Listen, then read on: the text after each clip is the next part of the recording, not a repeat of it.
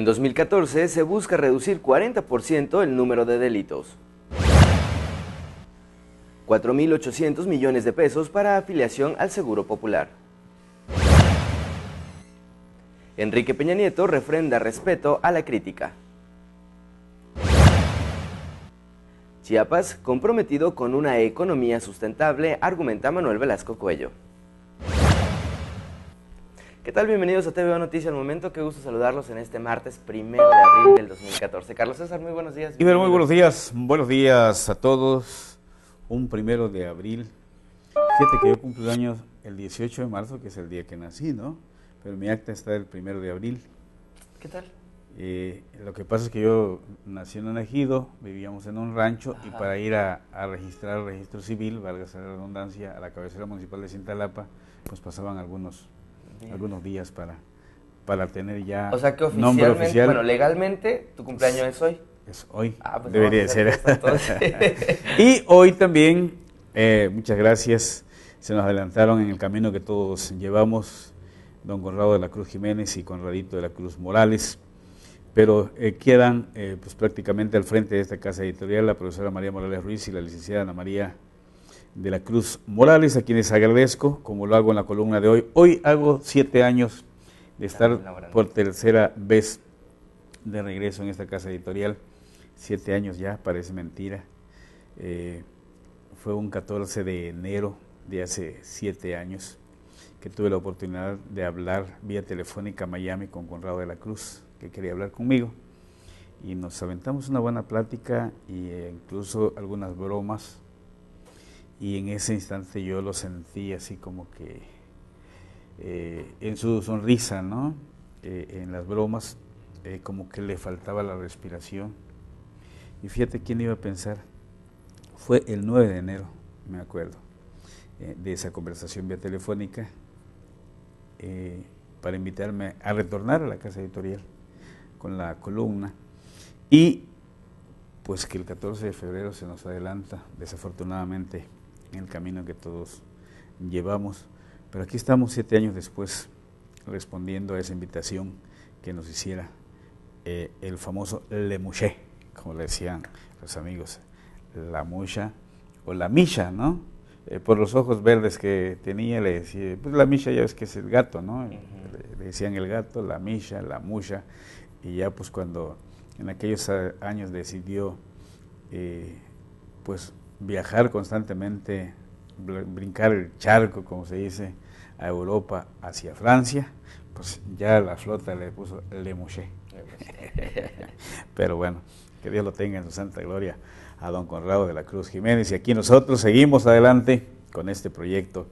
Pues no proyecto, sino prácticamente ya toda una realidad del periódico Cuarto Poder y también TVO Cuarto Poder, que es ya una realidad el primero de julio hicimos un año, ¿no? Y vamos para el segundo año si Dios quiere, el segundo año de TVO Cuarto Poder. De Cuarto Poder. Y pues obviamente felicidades por, la, por el año que cumples laborando. Y créanme que no es porque esté a mi lado, pero la verdad es una persona a la cual, al menos por mi parte, eh, generación joven, por así decirlo, he aprendido y he tenido la oportunidad de aprenderte tantas cosas. De los viejitos. Lo mismo que igual al ingeniero Juan Carlos con este mismo proyecto, a mis demás Bueno, él ya está más viejito que yo. Pues, bueno, pues ahí va, ¿no? pero la verdad es gente comprometida y Carlos, muchísimas felicidades por siempre estar brindándonos parte de tu trabajo y tu conocimiento y sobre todo la opinión que día a día nos das a través de este espacio. Muchas, felicidades. Y pues bueno, ayer también fue día festivo para muchos y pues algunos consumidores festejaron lo que ahora se conoce como el Día del Taco. De cochito, barbacoa, puerco, chicharrón en salsa verde o roja, carne molida, costilla, asada, cirlón, tripa, de pastor y hasta de chile con sal, los tacos continúan teniendo su lugar especial en la gastronomía mexicana y chiapaneca, por ello el Día del Taco fue un pretexto más para seguir con su tradicional consumo. Y es que la conjunción entre las tortillas elaboradas a base de maíz y diversos tipos de guisos o cortes de carne se ha convertido en una manera rápida de alimentación, lo que ofrece nutrición a bajo costo, esto derivado de los insumos con los que se prepara. Para Abilgae Morales, taquero de la Salsita Verde, negocio ubicado en el Andador San Roque y con más de 16 años de experiencia sirviendo a sus hambrientos clientes, los tacos se han convertido en su forma de medio de subsistencia. donde además ha sabido obtener capacitación por parte de la Secretaría de Salud para ofrecer un mejor servicio a sus comensales. Mencionó que los tacos han incrementado sus precios con el paso del tiempo y aún recuerda que hace más de 15 años los tacos costaban tan solo un peso. Pero ahora, argumentando que con el aumento del precio del kilo de las tortillas y de los diversos tipos de carne, puerco o res, era necesario subir el precio de los tacos. Sostuvo que un buen taco es aquel que está servido con cebolla, cilantro, limón y salsa al gusto, y de ser posible que esté acompañado de una bebida fría como agua de horchata, jamaica o un refresco embotellado. Para TVO, noticia al momento de Cuarto Poder, Jonathan Cervantes. Serían ricos esos tacos de venado, ¿no? Sobre todo los de venado de la 11 Oriente, entre segunda, entre primera y segunda sur. Ahí se ponen unos de carne de res riquísimos. Eh, pero también hay que eh, ver con qué higiene se preparan, porque muchos de lo que es el cilantro, la cebolla, eh, los rabanitos son pues prácticamente cultivados con aguas negras, así que pues tenga usted mucha precaución, sobre todo en estos tiempos de seca, de calor, es cuando más enfermedades gastrointestinales se suscitan. Bueno, pues ya le va a ganar el América al Cruz Azul el próximo sábado y no vemos claro con Fernando. Fernandito, la apuesta.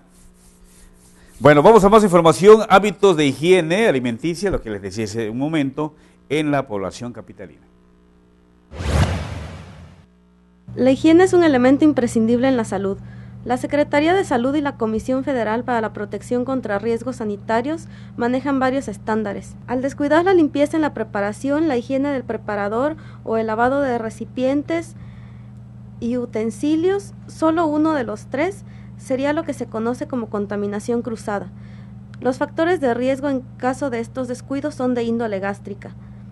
En un sondeo entre la población, los resultados arrojaron que solo el 50% conocen bien estas medidas, el otro 50% o lo saben a medias o de manera errónea. Muchas personas ignoran los procedimientos adecuados y estándares, pues creen conocerlos sin estar informados lo que lleva a que gran parte de la población, por no estar informada, no tenga una higiene adecuada, llegando a tener riesgos sanitarios. Para TVO, noticia al momento de Cuarto Poder. Bueno, y como ya se esperaba, ya no va a haber más prórroga para la facturación electrónica, eso ya es un hecho. Y pues esta situación es un nuevo régimen que causa temor, pero pues ya es un hecho.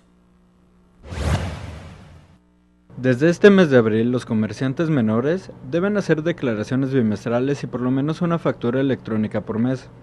El mayor temor de los pequeños comerciantes en específico es que no están acostumbrados a usar computadora y menos entrar a Internet, ya que muchos apenas saben leer y escribir y otros son de la tercera edad. Los comerciantes en pequeño, antes llamados repecos, régimen de pequeños contribuyentes, temen no poder declarar ante la Secretaría de Hacienda ahora que están en el nuevo régimen de incorporación fiscal. A partir de este mes, quien tenga una miscelánea debe declarar por mes cuánto vendió, cuánto de IVA de tasa cero y debe hacerlo electrónicamente. Para TVO, Noticia Norte Cuarto Poder. Bueno, sobre el mismo tema, un 90% de comerciantes mudaron de régimen fiscal. El presidente de la Canaco Tuxtla Servitur, Manuel Ernesto Ramos Martínez, confirmó que la migración de sus 1.500 agremiados al nuevo régimen de incorporación fiscal fue algo rápido, donde el mayor problema fue la falta de cultura informática, en promedio, el 90% de los agremiados habría migrado.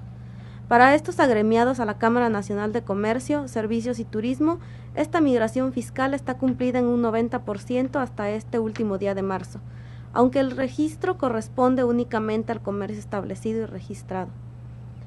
Con comerciantes agremiados en Palenque, Yajalón, Tecpatán, Malpaso, Cintalapa de Figueroa y Tonalá, en las últimas horas, el sistema de administración tributaria prorrogó el ingreso al nuevo régimen fiscal hasta el próximo 10 de abril, pero solamente para quienes ya iniciaron el tránsito.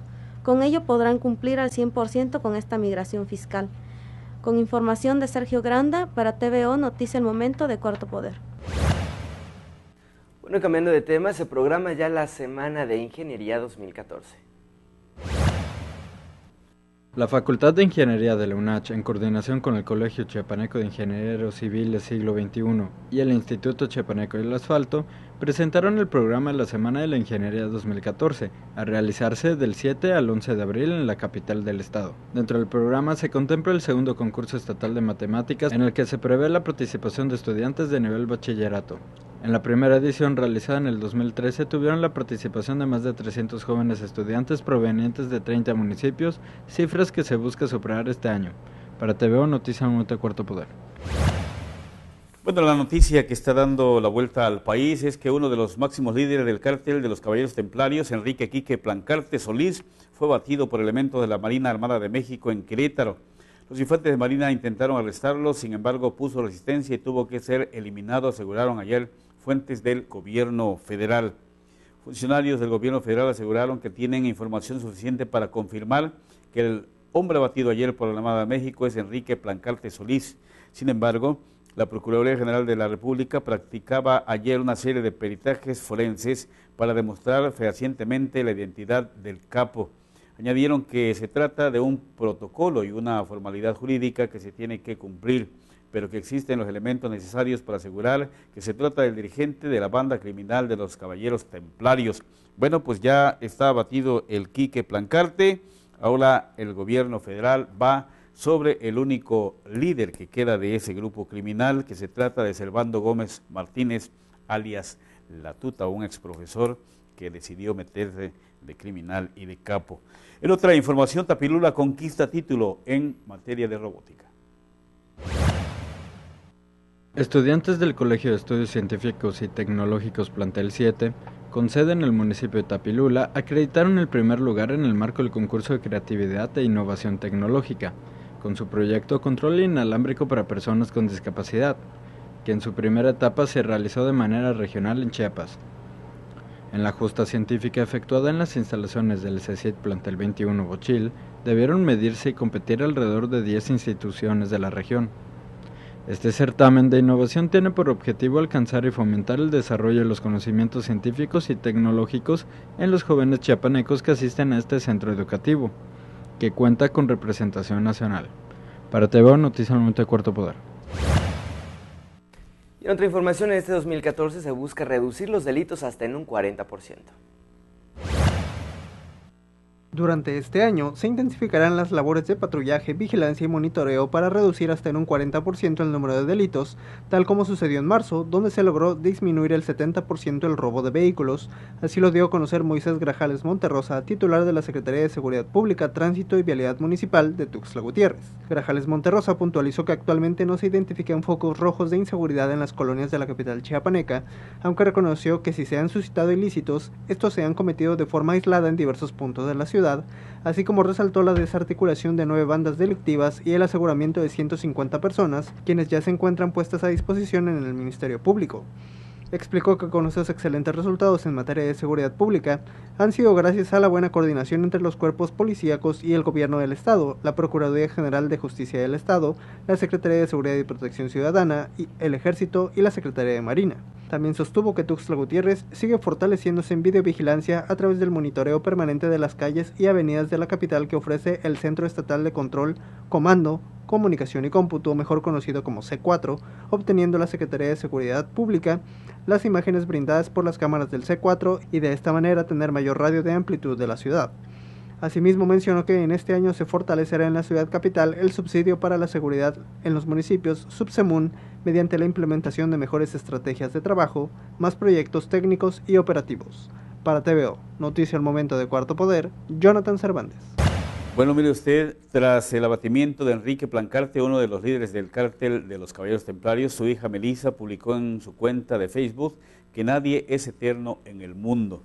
La cantante, conocida como la Barbie Grupera o la princesa de la banda, refirió que las cosas pasan por algo y mandó bendiciones a quienes no comprenden el dolor y solo fomentan más violencia. Dios es perfecto y no se equivoca, las cosas pasan por algo siempre con la frente en alto. Aquellos que no comprendan el dolor y solo fomentan más violencia, que Dios los bendiga. Buenas noches mi gente, bendiciones para todos. Publicó Melisa, la hija de Quique Plancarte, el abatido narcotraficante del cártel de los Caballeros Templarios de Michoacán y Jalisco. En otra información, 4.800 millones de pesos para afiliación al Seguro Popular. Para este 2014, el Seguro Popular destinará a Chiapas una inversión de 4.800 millones de pesos, con los cuales se pretende afiliar a 1.5 millones de chiapanecos, así lo dio a conocer Francisco Ortega Farrera, director estatal de la institución de salud. El director del Seguro Popular en Chiapas dijo que con esta inversión se trabajará en una mejor infraestructura hospitalaria en la entidad, equipamiento y tecnología, por lo que se continuará promoviendo y ejecutando más obras para mayor número de personas se afilen a la institución, esto con el fin de que se conozcan los servicios y el catálogo de privilegios que ofrece a todos sus afiliados explicó que para este año la meta es de 1.5 millones de afiliaciones, esto a través de 1.385.000 reafiliaciones, es decir, personas que por un periodo se atendieron a la institución y que al concluir este no renovaron su acceso a los servicios, así como 200.000 nuevas personas que se pretende afiliar por primera vez, otorgándole los beneficios de derecho a biencia. Ortega Farrera también informó que a los derechohabientes de esta institución de salud se les garantiza el abasto de 610 claves de medicamentos para la atención médica de más de mil patologías y 260 tipos de intervenciones quirúrgicas. Para TVO, noticia al momento de Cuarto Poder, Jonathan Cervantes. Vamos a ver cómo amanece Tuxla Gutiérrez con el hombre que siempre anda contento, que se dan alegría. Buenos días, adelante. Buenos días, Carlos César. ¿Qué tal, Iber? ¿Qué tal? Qué gusto saludarlos. Es un día soleado, caluroso y bastante congestionado en cuanto a la vialidad, martes 1 de abril. Pues el centro está bastante especial, no recomendable para ir ahorita. Hay muchísimos fiscales, muchos policías municipales y algunos agentes de tránsito a raíz del enfrentamiento entre comerciantes y ambulantes de la noche de ayer y pues hoy parece que quieren volver a sacar sus sierras como queriendo pelear, así que allí están tratando de controlar la situación y pues obviamente está un poquito pues intransitable la zona donde está bastantísimo, bastantísimo cargadísimo de autos, tremendo desde la mañana y no cesa, es el Boulevard Belisario Domínguez de Poniente a Oriente. La fila llega hasta la entrada de Juan Crispín, hasta el, el Boulevard 28 de agosto, allí en la entrada de la colonia Fubiste, Jardín Corona, y pues ahí una, una sola agente femenil de tránsito la pusieron para que pudiera eh, controlar manualmente el semáforo, pero se llevó la sorpresa de que no había control manual, se llevaron los amantes del ajeno, se llevaron el control manual y pues ahí está el cable colgado y ella no puede hacer más que pues de vez en cuando aplicar el uno por uno o el dos por dos para que vayan avanzando lentamente. La fila es muy, muy larga. Donde también está bastante congestionada allá en Libramiento Norte frente a Proactiva y es que un tráiler se quedó atravesado allí, eh, no sé si perdió el freno o el control, se atravesó y ya no pudo moverse. Ahorita apenas están liberando la vía, hubo mucho, mucho tráfico en esa zona de poniente a oriente también. Igualmente otro tráiler aquí en el Libramiento Sur, parece que se pusieron de acuerdo los tráileres y uno aquí en el Libramiento Sur frente a la base satélite, frente a la Secretaría de Seguridad y Protección Ciudadana, pues quiso retornar. Eh, ya había un Chevy que estaba dando vuelta allí por las obras que están realizando, iba a dar vuelta el Chevy de norte a sur para incorporarse en el carril de oriente poniente oriente, pero el tráiler le importó un bledo, es de Celaya, Guanajuato, el tráiler venía cargado con café y dio vuelta y ahí se atoró con el Chevy, lo pasó a golpear y quedó tapando los dos carriles, así que también ya lo orillaron, pero pues mientras el tráfico estuvo bastante pesado en esta zona. Eh, donde están tratando de liberar las vialidades, de aligerar un poco el tráfico, allí unieron fuerzas a tránsito municipal y del estado están allá en el Libramiento Norte y Boulevard Vicente Fox, están también aquí en el Mónaco, en la el Libramiento Sur y eh, Boulevard Hoppenstedt, en la Quinta Norte, allí frente a la, entrada de la residencia de Hacienda, y otros puntos que están uniendo fuerzas y es bueno porque a veces escasean los elementos tanto en una como en otra dependencia, así que están allí ayudando. La realidad, pues que todavía, como sabemos, van a tardar por las obras que se están realizando. Y pues también déjame comentarte que anoche hubo un accidente, un colectivero de los clásicos con choferes acelerados ya iba a entregar el turno, la cuenta, eran las 10 de la noche, la 7512, que iba de oriente a poniente, de poniente a oriente, perdón, sobre la cuarta norte, iba a ingresar a Las Palmas y ahí se llevó de corbata a un ciclista. Se ignoran los nombres porque la gente de tránsito que llegó en la patrulla PC653 eh, nada más sabemos que llama Rolando, pues negó datos, negó, incluso no quería que tomáramos fotos, protegió al colectivero, lo encerró en su patrulla para que no le tomáramos fotos. Lamentable que los agentes de tránsito estorben la labor de la prensa cuando tenemos derecho a informar a la sociedad. Pues ahí está el incidente, no sabemos si va a ser consignado el colectivero, lo más seguro es que sea dejado en libertad porque un familiar de él que llegó le guiñó el ojo a la agente de tránsito para indicarle que todo estaría bien, así que le dijo a su, a su amigo o familiar, no te preocupes, te van a hacer la finta que te van a llevar, pero al rato te van a soltar. Así se las gastan los agentes, algunos agentes de tránsito. Y hace rato una niña fue reportada perdida ahí en la novena sur y calzada caminera. Eh, la policía llegó, se movilizó, buscaron en las terminales aledañas, fueron por todos lados, la mamá juró y perjuró que ya la había buscado en su casa, los policías subieron al techo, a la cisterna, pero después de dos horas de intensa búsqueda y de angustia por parte de la madre, la niña apareció, estaba abajo de la cama, se había caído mientras estaba durmiendo y nadie se dio cuenta, estaba abajo de la cama, gracias a Dios no pasó a mayores, pero sí un tremendo susto y una gran movilización policíaca. Es mi reporte por el momento, vuelvo con ustedes al estudio. Oye, qué inteligente y qué lista es la mamá, ¿no? Sí, tremendo. Imaginas dos horas buscando a la niña y está tirada en el suelo porque se había caído de la cama. Qué barbaridad qué precaución tiene esta señora. Oye, ¿y el patrullero este no tomaron el número de patrulla? PC 53, PCC 53. A ver, déjame tomar dato. Sí. Agente Rolando nada más nos negaron los apellidos. ¿PCC qué? 53. 53. ¿De la de tránsito, municipal? Tránsito municipal, sí. Anoche a las 22 horas allí en Palma China y Cuarta Norte. Sí, algún negocio con los colectiveros, ¿no? Así se las gastan siempre. Para que les permitan hacer todo lo que es su regalada gana en las calles y avenidas de Tuxtla Gutiérrez, ¿no?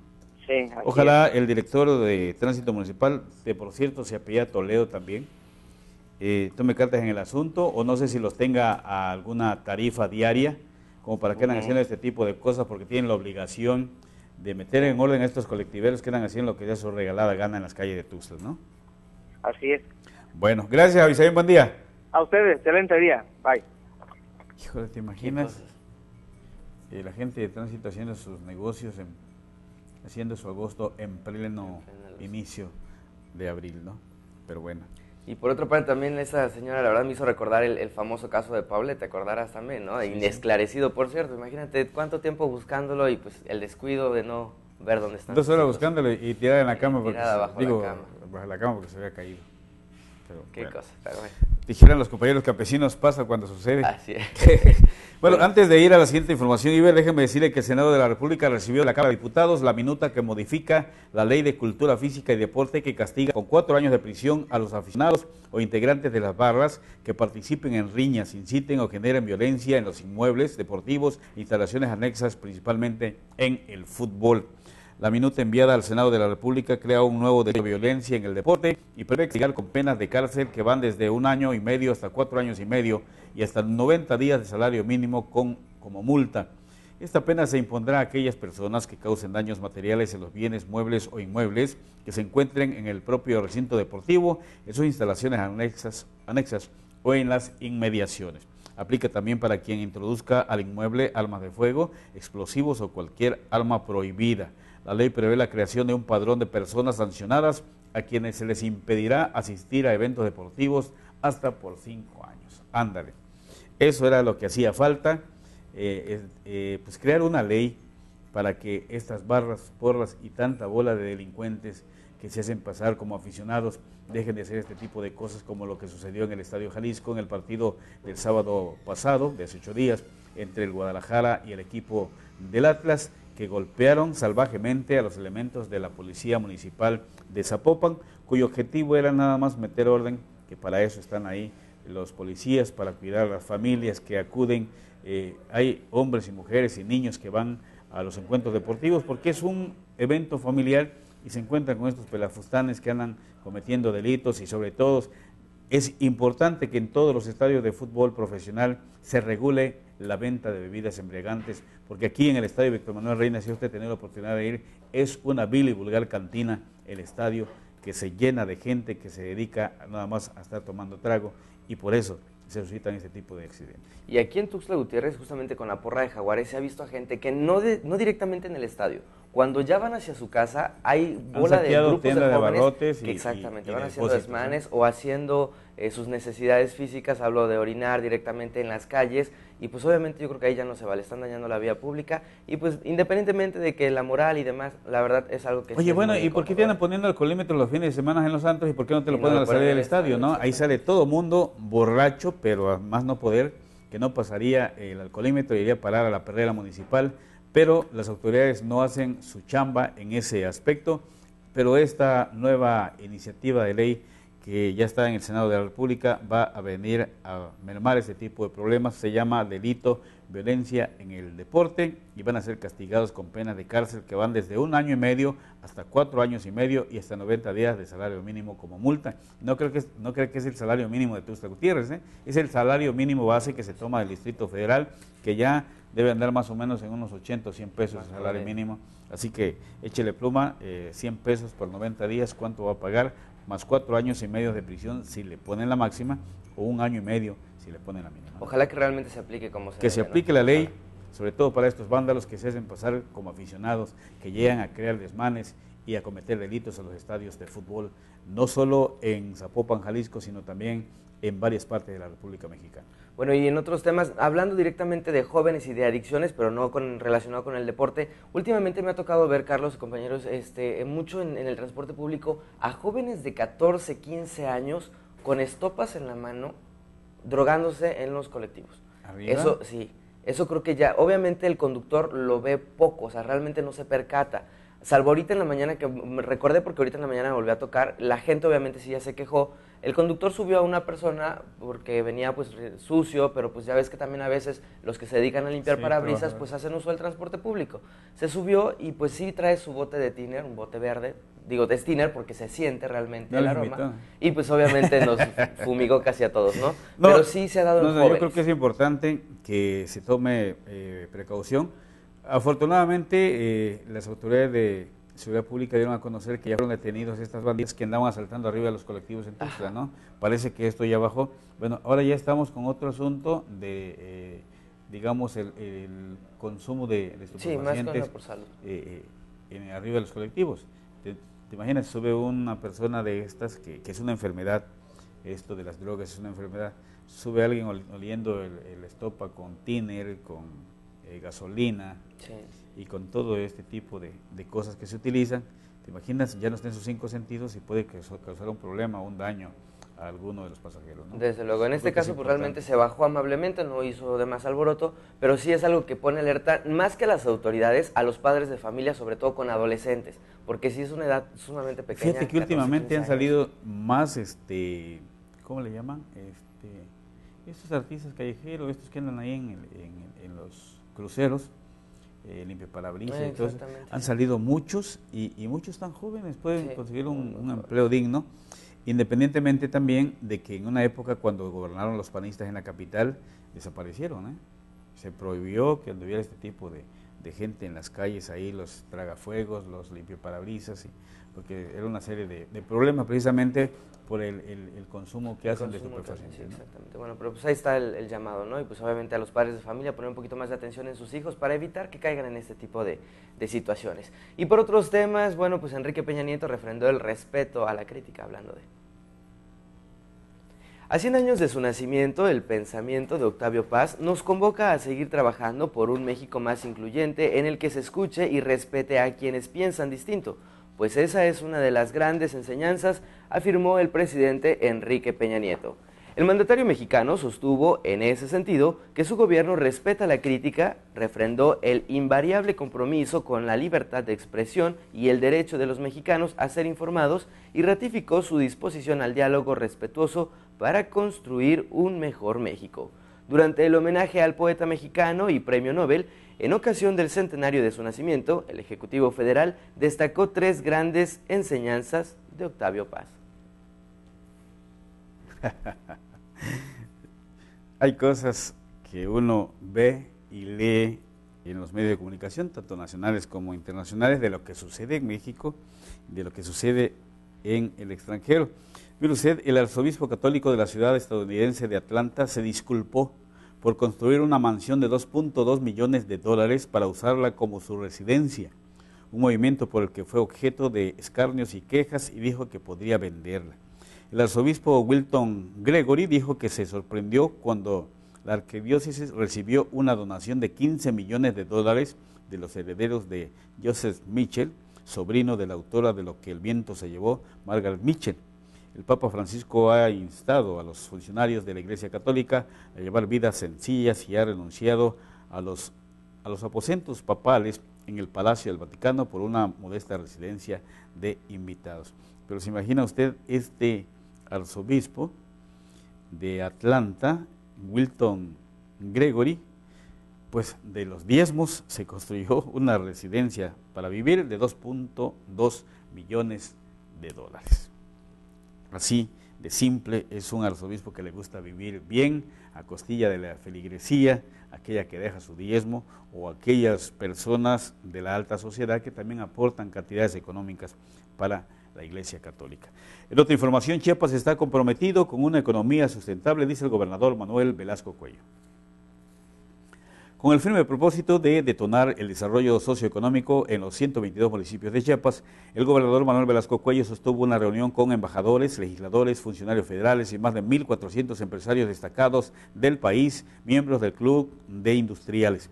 Durante la reunión se abordaron temas como la adopción de nuevas prácticas y modelos de producción sustentable que privilegien la protección y conservación del medio ambiente y los recursos naturales. Manuel Velasco Cuello resaltó que desde el inicio de su gobierno decidió colocar al medio ambiente como el principal eje transversal para todos los planes, programas y acciones de la administración estatal. Bueno, y estamos en plena primavera y ahora vamos a conocer los detalles del clima desde el Servicio Meteorológico Nacional, a ver cómo va a estar.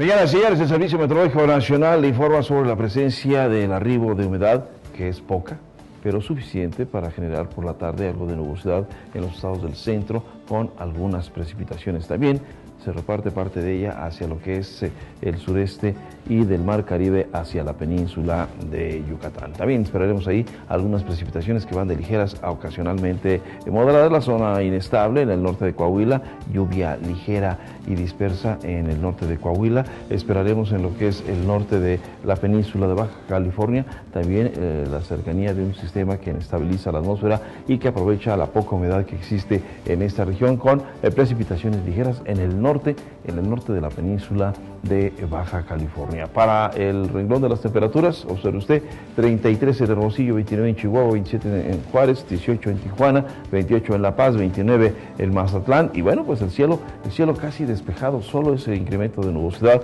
que se espera en el norte de la península con ese tipo de precipitaciones que son realmente ligeras y dispersas. En Durango, observe usted, 28 grados de temperatura máxima en la capital del estado de Durango. Para el noreste, en donde las temperaturas siguen, siguen elevándose, sigue entrando el aire, aire húmedo y cálido del Golfo de México, llega en esta región, lo que comúnmente conocemos como surada, bueno, pues nos dará lugar a eso, a que poco a poco se van incrementando los valores de temperatura máxima, el cielo, cielo despejado la mayor parte del día, realmente muy, pero muy soleado. Hacia el centro, observe usted, Querétaro, podemos esperar algo de precipitación, en lo que es eh, el estado de Tlaxcala, muy bajo el potencial, pero también está dentro del renglón de eh, precipitaciones ligeras y desde luego las temperaturas hacia el sur de la República Mexicana, temperaturas realmente muy muy elevadas, 33 en el puerto de Acapulco, 32 en Iztapa, 33 en Chilpancingo, 31, 32 en el estado de Morelos, en su capital, en Cuernavaca.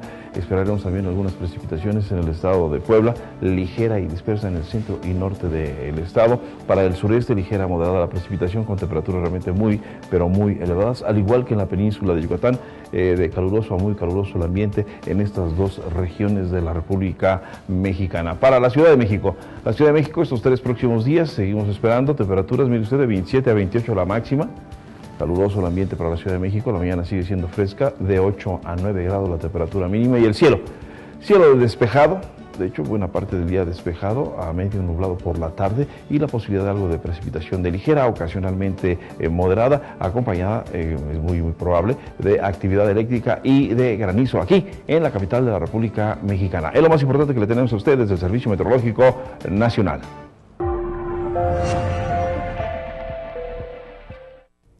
Mire, el satélite mexicano SatMex 8 formará parte de la red de nueve aparatos en órbita que permitirán la transmisión a todo el mundo de la canonización de los papas Juan Pablo II y Juan XXIII. Según informó Eutelsat Communication, el SatMex 8 permitirá la distribución al continente americano de la señal de video que se generará en la Plaza de San Pedro durante la ceremonia que presidirá el Papa Francisco el próximo domingo 27 de abril. Es una página histórica con las últimas adquisiciones de operadores o de operador, dice SACMEX, alcanzamos una flota de 36 satélites y ahora abrimos todo, cubrimos todo el mundo. Para este evento, este nuevo, eh, este nueve satélite, dice la flota, estarán ocupados para cinco horas en transmisión en directo, señaló Renato Farina, que es director de Eutelsat en Italia. En enero pasado, Eutelsat adquirió el 100% de satélites mexicanos SADCB, una operación que costó 831 millones de dólares que se embolsó el gobierno mexicano por esta venta, así que va a cubrir a América Latina en este pues, propósito que tiene el Vaticano de esta canonización que también ya se está pues, manejando a nivel internacional dentro de la feligresía católica. Y pues de una vez le vamos dando, aunque es martes, para que usted esté prácticamente enterado, porque después le pregunta, es que no sé con quién jugó mi equipo, cuando no les conviene y cuando pierden, no se enteran con quién juega. Sí, la jornada 14 eh, va a iniciar el próximo viernes a las 7 y media de la noche. El Morelia recibe a los Tiburones Rojos del Veracruz. También el viernes a las 10 y media, Tijuana. Los Cholos reciben al Toluca. Y el sábado a las 5 de la tarde, el clásico joven del fútbol mexicano, América contra Cruz Azul. El sábado a las 7 de la noche también van a jugar el Pachuca contra el Guadalajara y a la misma hora, a las 7 de la noche, el Monterrey recibe al Santos. A las 8 de la noche, León recibe al Querétaro y el Atlas a las 9 de la noche recibe al Puebla. El domingo hay duelo de fieras allá en Ciudad Universitaria. Los Pumas de la UNAM reciben a los Jaguares Verdes de Chiapas y a las 5 de la tarde en Cancún, Quintana Roo, el Atlante le hace los honores a los Tigres. Así que Paco, tus Pumas juegan a las 12 del domingo contra Jaguares Verdes de Chiapas. Ingeniero Armando, su Monterrey juega el sábado a las 7 de la noche y Javier, tu Guadalajara juega pues el, sábado a las 7 de la noche también contra el Pachuca y mis Águilas a las 5 de la tarde el sábado contra el Cruz Azul. Bueno, vamos a lo que es la portada y contraportada de hoy, martes 1 de abril del 2014, el periódico Cuarto Poder, la fotografía principal de portada, lo que ya se ha venido comentando en los medios de comunicación del Estado. El caso del Parque Amicú, rescata el gobierno, dice, a toda la fauna. Hasta ayer andaban buscando la manera de darles de comer todavía porque no encontraban a dónde llevarlas. El gobierno, compromiso con una economía sustentable. Manuel Velasco sostuvo una reunión con integrantes del Club de Industriales de la Ciudad de México. Inauguró expoventa de productos orgánicos.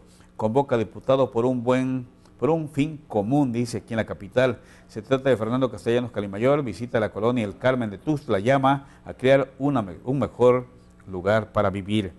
La CEP y NEGI detectan a 39 mil falsos maestros, aquellos que compraron el título o aquellos que nunca eh, eh, tuvieron título, pero sí dieron clase en Tuxtla, evitan reinstalación de comerciantes informales, llegó la policía, hubo un conato de bronca en la noche, entre los ambulantes y el comercio establecido.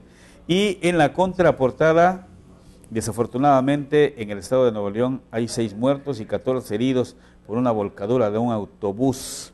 Ahí se ven las imágenes eh, de la volcadura de este autobús de transporte de pasaje. En San Felipe, ya en San Cristóbal, cae camioneta en un barranco, accidente sobre la carretera federal San Cristóbal de las Casas Tuxtla Gutiérrez, a la altura de Catepec, seis personas lesionadas. En Pachuca, cuarto poder en el Salón de la Fama. La cuarta generación del fútbol nacional e internacional quedó definida la tarde de este martes. Con razón no se ha parecido Fernandito Gutiérrez por acá, anda en Pachuca, en la cuna del fútbol en el Salón de la Fama. El cuarto poder ya está en el Salón de la Fama Nacional. Y los templarios dice, como ya decíamos, que, que Plancarte podría haber sido abatido. Uno de los máximos líderes del cártel de los caballeros presuntamente resultó muerto en el estado de Querétaro. El anuncio oficial se dará a conocer al mediodía de hoy por parte de la Secretaría de Gobernación y el Gabinete de Seguridad. El Delfín Records y Velocidad Abarrotado y con la adrenalina fluyendo a cada segundo, fue como lució el centro de entrenamiento del Club Deportivo, sede del vigésimo segundo torneo Ricardo Borges. Y pues el Delfín, el Club Delfín ya tiene muchísimos años atendiendo y creando deportistas y nadadores importantes. Así que el maestro Ansueto y la maestra Amanda, pues prácticamente están contentos por lo que han logrado con este Club Deportivo El Delfín.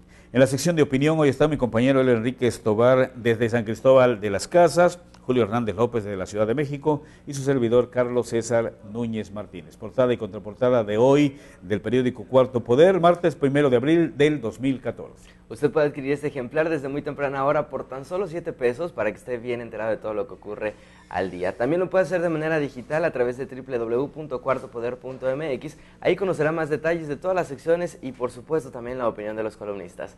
Recuerdo que nos siga a través de nuestras diferentes redes sociales. En Twitter nos encuentra como arroba cuartopodermx, lo mismo a través de Facebook y por supuesto en nuestro canal de YouTube con los diferentes bloques informativos, además de la repetición de este espacio que es alrededor de las 2 de la tarde por si se perdió la emisión en vivo en punto de las 9 de la mañana.